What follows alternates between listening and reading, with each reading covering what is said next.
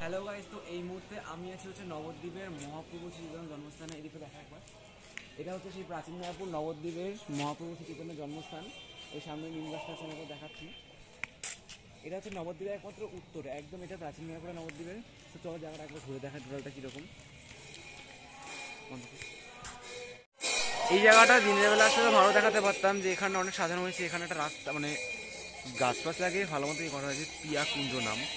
এই সেই জায়গাটা বাট রাতে জানি আচ্ছা এদিকে এদিকে এখানে শিব করতে আছে। সো গাইস এটা হলো সেই জায়গাটা, এখানে মানে সেই কটেজটা মানে যেখানে ওই জন্ম হয়েছিল, এটা সেই নিম গাছটা দেখাচ্ছি এটা। সেই নিম গাছটা হচ্ছে নবদ্বীপের একদম প্রাচীন ম্যাপুরে, নবদ্বীপের নর্থের দিকে। এখানে মহাপ্রভু চৈতন্য জন্ম হয়েছে। খুব সুন্দর করে সাজানো হয়েছে জায়গাটা। এখানে হচ্ছে সচী মাতা এটা। ওদিকেও যাব, আস্তে আস্তে, চল ওদিকে চল। এখানে কীর্তন হচ্ছে দেখতে পাচ্ছি, এখানে একটা মন্দির রয়েছে। এখানে কীর্তন হচ্ছে, দেখো। ওদিকে যাই কি করে জানিস?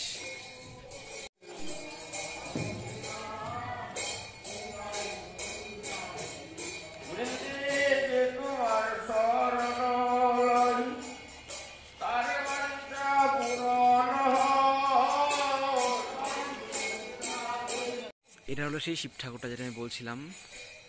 দেখো একবার গাইস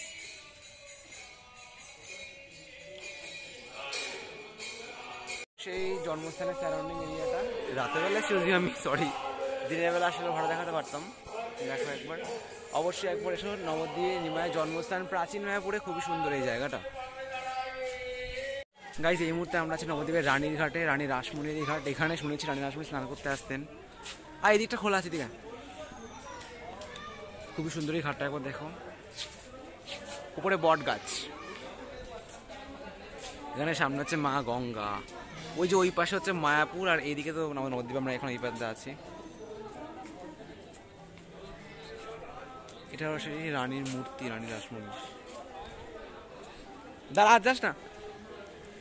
এই যে ওই পাশটা হচ্ছে মায়াপুর, যেখানে লাইটগুলো জ্বলছে, ওইদিকে কোনা বরাবর, ওইখানে ওটা হচ্ছে মায়াপুর বরাবর। আর এই আমরা তো এখন নবদ্বীপের দিকে আছি। দেখেছ তো এটা সেই রানিং ঘাট দেখো।